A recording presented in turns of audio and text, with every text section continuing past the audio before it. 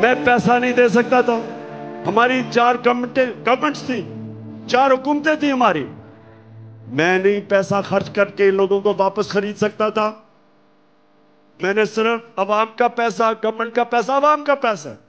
میں نے وہی پیسہ چوری کر کے زمین خریدتے تھے۔ لیکن میرے پاکستانیوں، میرے میں خوف خدا ہے، میں نے اللہ کو جواب دینا ہے۔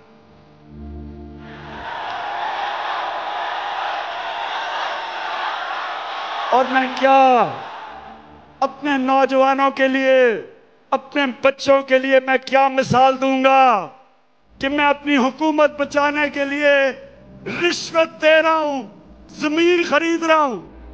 کیا جواب دوں گا میں اللہ کو اور اپنی عوام کو؟ بہتر ہے کہ حکومت چلی جائے، لیکن اپنے اور آپ نوجوانوں یاد رکھو، کبھی اپنے ضمیر کا سودا نہ کرنا۔ کبھی نہ کرنا۔ کیونکہ تھوڑی دیر تو پیسہ مل جاتا ہے۔ باقی ذلت ہی ذلت ہے۔ یہ آپ لوٹے، ضمیر فروش جب پبلک میں آئیں گے